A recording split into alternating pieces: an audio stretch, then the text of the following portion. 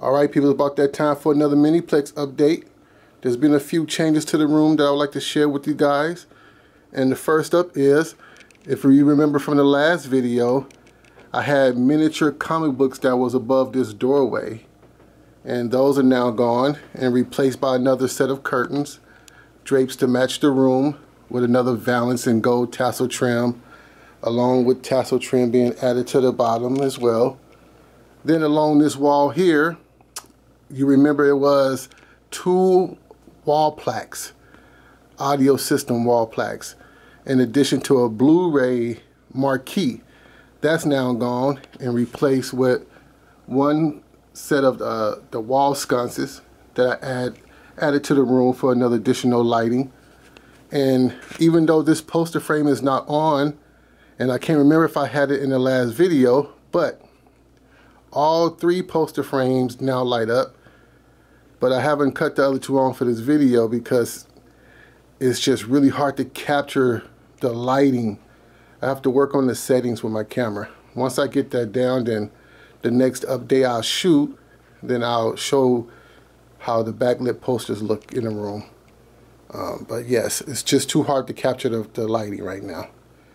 Then over here with the door, if you remember on the, the last on the door was uh, there's a red velour rope, an admit one ticket, and a letter marquee. Those have now been replaced with a tufted door panel that I purchased from HT Mart.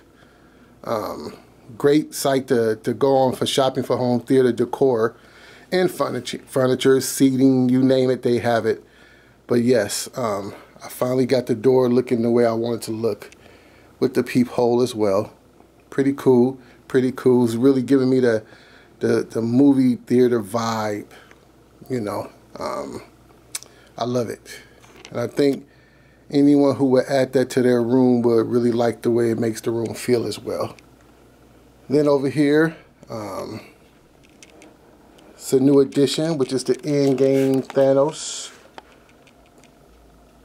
He replaced my Infinity War Thanos that I had see if I get a good close-up. Hopefully that's good enough. Okay, then if you scan across, come across to the room, I replaced the Infinity War Iron Spider-Man with the Endgame Iron Spider-Man. Let me see, can I get it, can I get it? Okay, hopefully that's not too bad. And then in addition to adding that, I remove the fourth leg from this stand as well so you can see the statue better.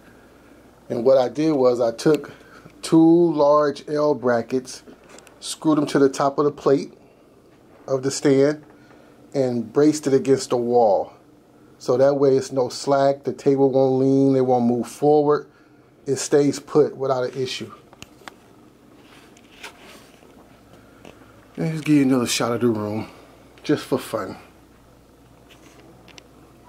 And that's pretty much it for the, the most recent changes. I am highly considering going into Dolby Atmos. Right now, I'm still working out a solution for the cable management.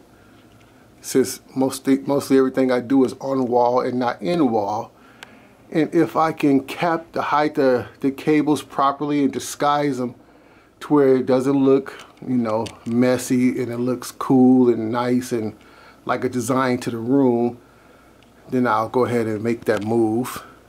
Just like what I did with these sconces if you look I just ran the cord down across to the poster frame and it runs down the poster frame. So it actually hides it a lot better and gives it a better look so once I do that, then of course you'll see the bed layer speakers come down and then we'll get some maybe two to four Atmos speakers up top.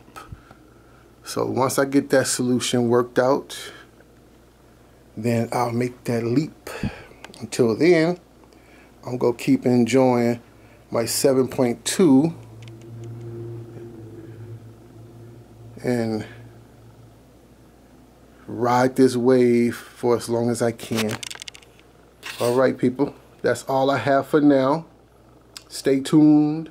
Hopefully it won't be too long before the next update for some nice changes to share.